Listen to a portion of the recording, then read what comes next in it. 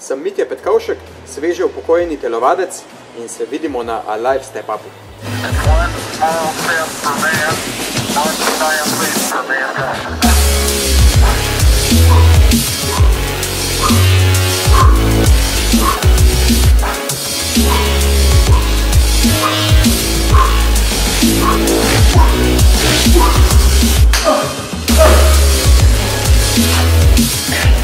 Evo ti lejce.